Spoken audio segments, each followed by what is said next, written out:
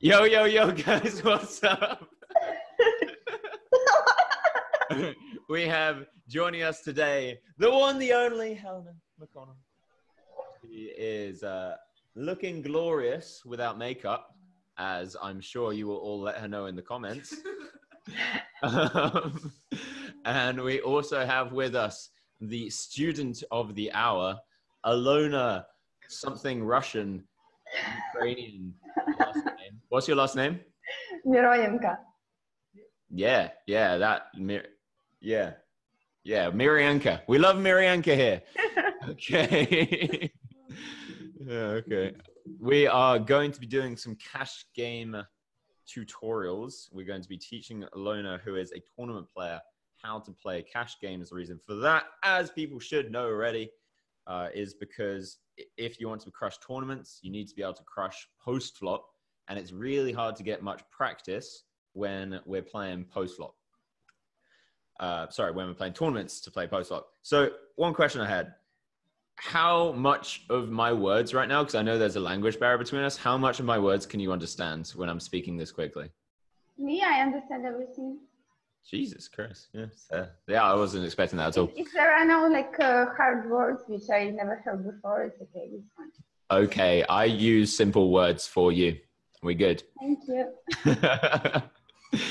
um, so Alona has been in the Charlie's Charmanders group, kind of injected in there to try and get Helena some female company. Um, unfortunately, Helena is not the kind of person to reach out and be like, "Hey, let's do something together." So I'm still trying to force them together. Still trying to just like make them friends. Um, so yeah, I'm actually I've been meaning to speak to you. I, I've been trying to convince you. I was going to try and convince you to go to Ukraine. I'm not sick. Yeah, to just have like a grindhouse. Oh, I'm not. That would be amazing. Yeah? Yeah, because when you tried to force me to do grindhouse with male strangers, it felt really weird. I don't know why you wouldn't want to live in a, a house of just six dudes. Yeah. It's, it's so calming and relaxing. Okay, cool. So we are going. doesn't let me doesn't let my request friends in Facebook. yeah, I will. I'll do it right. Wait, you sent her a request and she didn't accept? Wait, I didn't accept. Oh my god. I never look at it. I never look at it. Oh my god, caught red-handed, guys. This is not something I wanted on air, but my gosh, it's being published. Brutal, Hannah, brutal. Okay, well, that that friendship can still be saved um, with just a simple couple of weeks grinding in Ukraine. Could be cool, yeah. Let's do it. Um, so we are going to be going through some nine max footage. Elena has Alona. Elena has never. Um, oh, how the fuck do you share screen? This Zoom. Zoom is fucking up. Um, it's usually up here, isn't it? Uh, maybe there. No. Maybe up here. Pause. start share. All right, we got it. Okay, maybe it's just changed a bit. Um, has she's never played any cash games before? She's only played tournaments. I, I actually don't know what kind of success you've had in tournaments. Uh, you said you've ran good generally. So uh, what what what buy-in tournaments do you usually play? Ah, I play three five dollars. Three to five dollars. That's like sixty thousand Ukrainian monies or something, like twenty thousand rubles. Um, okay, share. Oh, wait, wait, where did we just find it? Bear with me, guys. Meaning start share. Okay. Huzzah! Sweet. My playlist, by the way. Look at all the followers. Such a popular musician. um. All right, cool. Uh, we can actually play it on double speed if if need be. Uh, okay, so first of all, we're min opening, blind versus blind. Why are we doing that? Why? Yeah. Because we, we have a good hand. Wait, what? Have you got a better microphone, by the way? Better? Yeah. Mm, You might. You, your settings might have uh, a different. Yeah, microphone. yeah. This one, I think. Oh yeah, that's way better. Yeah, yeah, it was just. Yeah, Uh, you, you hope when you're going to have coaching sessions with Twitch streamers, they might already know this stuff, but sure. Okay, so we we opening the blind versus blind because it's a good hand. If it was like uh, two, three, or four, five, I would just complete. But why are we making it the minimum amount to go? Why are we making it four cents instead of five or six? Uh, I don't know. I never thought about it. Yeah. Okay. So one one thing that people don't really uh, get when they first start playing poker is that you need to be opening different sizes in different situations. You can probably get away with just like 2.2xing every single position apart from the small blind. And uh, the small blind is something you want to be probably usually 3xing until you start getting very short stack, like 25 to 30 big blinds. Um, so in cash games, especially, you want to be 3xing. Uh, just so so you know, you can get away with minimum minimum uh, minimum raising pretty much every other position if you want. But uh, blind versus blind, you're giving them way too good a price if you're if you're just min raising, so they can start calling with fucking like six three off. All right. Dude, this 2x speed's so good. 5x speed's too much. Oh god, slow down, slow down. Okay. Okay, back we go. I thought it was just gonna even out. Okay, so we we defend the the 10-4 suited here. That is completely good, especially in tournaments. You want to be making these kind of calls. Um, in cash games, it's like kind of marginal because there's no ante, but I don't expect you to know that. So whatever. Mhm. Um, after this call, I am gonna probably give you some homework to just play more cash games and see what your results are after a certain amount of time. So when everyone checks around here, we have obviously basically nothing. Um, but there is one crucial point that could help us to win this hand. Can you guess what that point is? Five. So there's there's one thing that is very helpful for us in this hand, uh, and it's something to do with the board. uh, yeah, I, I just said that we need a five. Uh, that that is true, but okay. So we're talking about we're talking about kind of range advantage. So when we're calling out the big blinds, um, we can have four five off, we can have seven six off, we can have six three suited, seven three suited, all of these different types of hands. Other people can't have those hands. Um, the small blind can still have like seven sixes and threes, um, but the other two have also checked, so it's very unlikely that anyone has anything. So um, the first thing that would be coming to my head right now, and I, I've watched a tiny bit of your stream, and I think this is like the reason I'm saying this because I think this is something you could take away is that when there are situations where we don't have very good hand, but we know everyone else also doesn't have very good hand, it's probably a good situation to start bluffing, no matter how many people are in. Well, I mean, if there's ten people in the pot, five, eight people in the pot, it's not not worth doing it. But like four, easy, we can easily get through three people. Um, so we don't get a chance to do that. This guy bets four. What do you think his range is when he's betting here? Uh, probably he's just like me, has uh, some gut shot. What else? Uh, maybe three, maybe six. I don't think he has jack. Yeah, yeah, it seems reasonable. But Um, so small. It looks like uh, he has like some lower middle pairs, so he wants just to know if someone else. Okay, so here's here's what we're going to do for all of, all of the following hands that, that are going to come up. I'm going to ask you what their range is, and you got to be able to do that very quickly. You got to be able to say, okay, I think he has like pocket eights, a seven, a six, maybe a gut shot, maybe an open end, or something like that.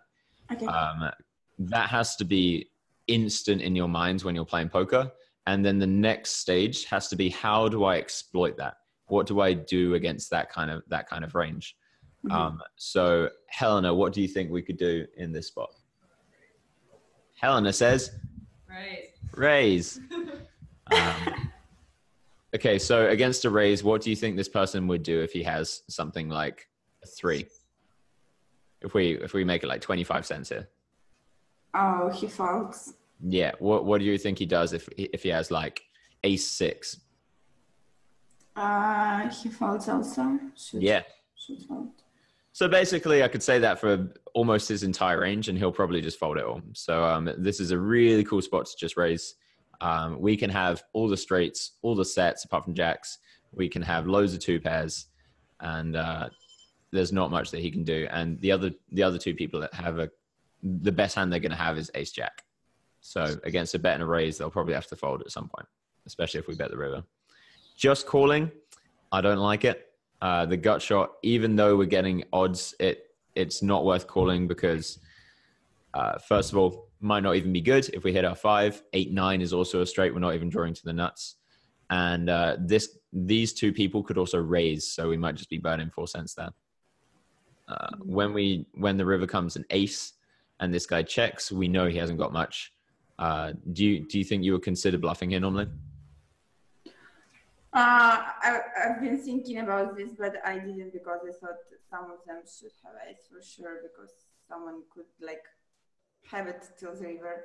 Mm. I think I think that if this guy, um, can you see my mouse, by the way? Yeah. Yeah, cool. I think if this guy had an ace, he'd probably bet the river.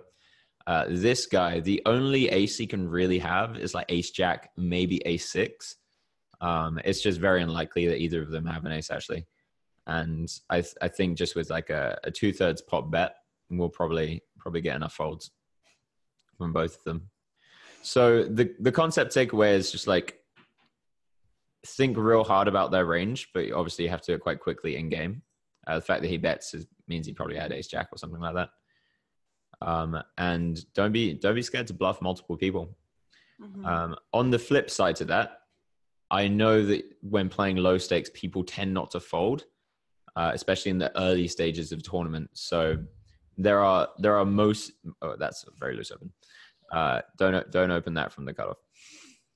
Uh, you can almost open it from the button, but not really. Mhm. Um, so I know in the low stakes tournaments, people tend not to fold too much. Um, so in most situations, we're gonna we're gonna try not to bluff too much. But there are some situations where we just know no one has top pair, no one has second pair, and in those situations, we can just go for it. Mhm. Um, and that that's one of the crucial things that you'll find in tournaments is the difference between uh, an okay tournament player and a very good tournament player. Is the very good tournament player knows when to not bluff but when he needs to or she needs to they they can just pedal to the metal. And that probably doesn't translate to ukraine but like go as fast as you can bluff and loads and loads of hands and taking down the blinds taking down the antes and you know c bet bluffing triple barrel bluffing all of these things. And that is what makes a, a really crushing tournament player. So if you ever want to practice bluffing, 2NL Streets, 2NL Cash Games are a very good place to start doing that. Um, I actually usually say to a lot of my students, when you're playing cash games to begin with, you should uh, you should really be as aggressive as possible. You want to be practicing all of those big bluffs, all of the, all of those triple barrel bluffs, because then you start getting an intuition for which ones work and which ones don't. And you start feeling like, okay, when I bet this size, people start folding like third pair.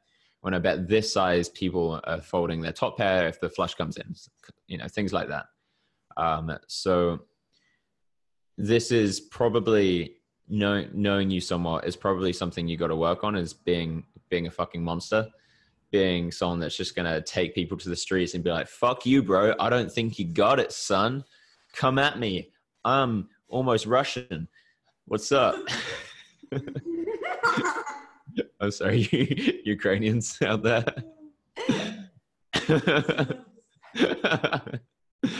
um, okay, so here when he defends, the, the first thing we're going to say, we're not going to say what his entire range is. You know, he can have like four or five of hearts. We don't care what, about that kind of stuff. But what kind of hands can he have that would call a bet? Very quickly. Uh, hi- his hands. Yeah. Um, ten jack, uh, nine, nine, uh, eight. Uh, some cards of. okay, okay, slow, slow down, slow down. So instead of going, here's a little trick. Instead of going through all of the hands individually, you can just say straight draws, Uh-huh. yeah. 9x, queen x, 3x, flush draws. Mhm. Okay, so I'll, I'll, I'll let you do the next one. So he calls, I'm pretty sure. Yeah. Okay, so now we have to think okay, do we want to check or bet? So t- it's, a, it's a close spot. Um, what? Okay, this is actually kind of a complicated one, but let's say he has a straight draw. What would we want to do against a straight draw? Uh, I want uh, because I have only second pair and no draws for me. I just want him to fold any of his hands. Uh, yeah, I'd, I'd say that you you want him to fold like Jack ten, um, or you want him to call because you're ahead of Jack ten. Um, he could also have maybe like King Jack, especially maybe with a club. So there's a lot a lot of straight draws here. I think betting against them would be best. Okay, what what if he has something like King Queen? What what would you want to do against that? Um, even King Queen uh, can fold here sometimes. No. This is something that Helena's uh, ran into a lot in her career. What is the mistake that Alona is making right here? Fold people at the top there. Uh, that is one of them, but there's something Oh, specific about. Turning your value hand into a. Okay, did you hear her? No. All right, lean into the microphone. Uh, turning value hands into bluffs are my favorite thing to do. Can I don't I don't get the first word. you got this. Turning value hands into bluffs. Turning. Okay. Yeah, okay. Turning value hands into bluffs. And she's right. It's something that I've seen a lot of students do, and it really confuses me because I, I never had that that tendency. Um, but some sometimes people are like, oh, yes, a flop second pair. Here we go, boys. I'll make him fold top pair. I was like, no, no, you, you, you don't need to do that, man. He's, what if he hasn't got top pair? And it's really hard to make people fold top pair. Um, so yeah, my my strategy in the low low stakes streets is definitely don't try and bluff people off top pair, um, ever, and or almost ever really. Sometimes if like four clubs came in, then you might be able to do that. Um, but another strategy is like when you have showdown value. Uh, do you know what showdown value is in English? Uh, yeah, yeah, I know, I know. Yeah. um, when you have showdown value, there's very rarely times where you want to turn that into a bluff, especially on like the turn, um, and especially with something like second pair. So again, if he had king queen, we'd just be happy to check it down and lose. You know, we'll just be like, fuck it, let's do this. Um, if he has a flush, obviously we're not going to try and bluff him off that. We check it down. And this is a quite a complicated situation. So you can have all those straight draws. He might be able. To, he might have something like ace ten with the ace of clubs. There's a bunch of different hands he can have. I don't know whether betting or checking is best. So it doesn't really matter what you do. There are no mistakes you can do here unless you open fold. Congratulations, you didn't make a mistake. This is good. Times two. Okay, so here with ace king five rainbow, what kind of hands could he call a bet with? Could he come back? What kind of hands could he call a bet with? Uh, call a bet. Um, A6, King X. There's one more one more type of hand that you can have. Uh, straight draws. There we go. Yep. Nailed it. So against those kind of that kind of range, what do we want to do? Uh, we wanna bet. I think I, bet it like 35%, but I think we have to bet more. Okay, so I would say the crucial thing here is that we we don't want his straight draws to fold because those straight draws only have four outs against us, plus maybe a backdoor flush draw. Um, so let's say he has like Jack ten of diamonds. Oh, sorry, let's say Jack ten of clubs. What kind of sizing do you think he will call? Mm, 35% he will first. Yep, yeah, I agree with that. Um, so that, that that's the kind of thing you want to be doing in every single hand. You want to be like, okay, what can he have, and how do I get value from it, or how do I bluff it out, or you know, whatever the situation calls for. So we think he can have an ace, which you know we lose to most of his ace x that call here, or he can have a king, or he can have a straight draw. So now we get to the turn. Things have complicated a bit. We think he can still have an ace, so you know, ace queen, ace jack, ace ten. He can still have king queen, king jack, king ten, and he can have jack ten, and he can have queen jack and queen ten. A lot of shit going out there. Um, but ranges are already pretty narrow. So what, what do you think might be best? Um, I think uh, might be best to bet uh, more than half of pot and to understand now if he has something or not. Helena, what do you think? Helena thinks check, um, very uncertainly. But yeah, check check's definitely the best one. And the reason the reason checks checks good here is that it makes his hands turn very face up. So if he has one pair, then he will check because it'll be like king jack, queen jack, stuff like that. But if he has two pair, something like ace queen, which has us drawing dead, or straight jack 10, um, he'll end up betting. So the cool thing about checking in this situation is that if he bets, we can just fold our hands, even though it's top bet, um, because his range only com- only consists if he bets the turn, probably of let's say ace jack or better. Um, so by betting here, he can still just call with something like jack 10. He can still call with king queen, um, ace 10, ace jack, things like that. And we, we're actually betting a, a bit of money here. Did you, did you follow that? Did you, uh, did you understand all that? Yeah. Cool. This language barrier ain't too bad. I was expecting, I was expecting it to be a lot worse. All right, cool. So now we've rivered two pair, and we need to think what are we trying to get value from? So what kind of hands are we targeting? Um, we are trying to get value from ace 10, ace jack, uh, some three draws which didn't work till now, and from like ace jack, I, I told already like these hands, this kind of hands. Yeah, yeah. it's- Okay, so yeah, I, I'd say we're trying to get value from ace, ace, jack, ace ten, maybe king, queen if he has that. Um, what kind of size do you think they would call? Uh, I think I bet it uh, too much. I had to bet uh, smaller, like uh, maybe 10 cents or 8 cents. So they're interested to see and they pay, even if they have like a jack, ace 10. Yeah, yeah, I agree with that. We look very strong. Just even though even a two and L player will know that we we look quite strong here when we've raised early position, bet the flop, bet the turn, and bet the river. So I think uh, going for a smaller size feels better. And in these situations, for you and for people at home, there's not much more you can do than just feel what they'll call. It's really hard to quantify that. It's really hard to put it into an exact amount.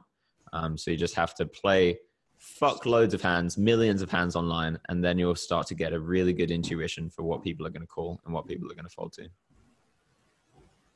All right, so we've opened a6 suited, and uh, what are, what are we doing going to do on this flop? Bet 35%. Yeah, yeah. So in cash games, you can generally bet a bit bigger. I'd usually say 50% here. Um, but in tournaments, you, you want to be betting around 35% as a C bet anyway. Oh Um, my God. So in tournaments, you want to be betting smaller. So 35% is good for tournaments. But in cash games, you want to be betting bigger um, Mhm. just because stacks are deeper. Okay. Um, it, it is very situations specific, but that's just like a general rule. All right. So he calls. What do you think his range is?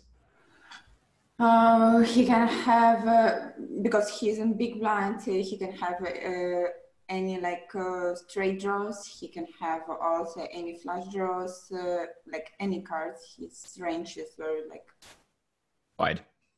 yeah. I, I, I get you, man. We cool. so with uh, range, what what do you think we could do to exploit that? um, I don't know as far as uh, like flush uh, close, and I still haven't. I still have only gut shot. I still. I think I have to check here. What do you think, Helena? Uh, they, like, if you're gonna barrel the river as well, you can get him up a lot with one pair hands. Um, would be- Yeah. So Helena said if you're going to barrel the river, so if you're going to bet turn and bet the river, we can fold him off most of his range. And I completely agree with Helena. Um, if we say bet the turn and then bet the river, he's probably going to call with on the turn like five three, six five, maybe like ace five with a club, maybe just ace five without a club. Um, lots lots of those different hands, and then we can set up a river bet where let's say the river is something like a jack or a queen, a king, um, even just like a nine, we can or a club. We can then put in the third barrel and fold him off most of his hands that he has in his range. Um, so, uh, Helena, what kind of sizing would you go on the turn here? There's a little trick that I've taught you. Uh, you There we go. She knows it, dudes. That's sick. She knows. So a little little trick here to look out for is that if we bet kind of smallish, say let's say seven cents on the turn, and then go big on the river, it does a really cool thing. And what it does is it says, "Hey, dude, you got a flush?" And if the answer is yes, he's like, "I'll raise my flush." But if we were to bet like you know 15 cents here, he might just call with his flush because you know he's trapping. Mhm. Um, but when when people have you know let's say six seven of clubs here or you know king queen of clubs and you bet just seven cents, they're scared you're going to check behind on the river, so they're just like okay, I'll raise now.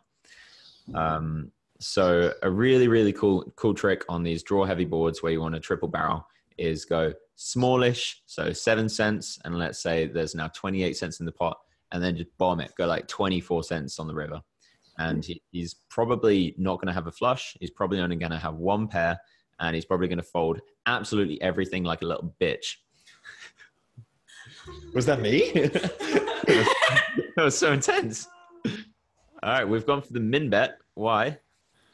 Uh, just, uh, I don't know. The only correct answer you can say in this situation is because fuck GTO. but uh, this is not how I would choose to personally fuck GTO.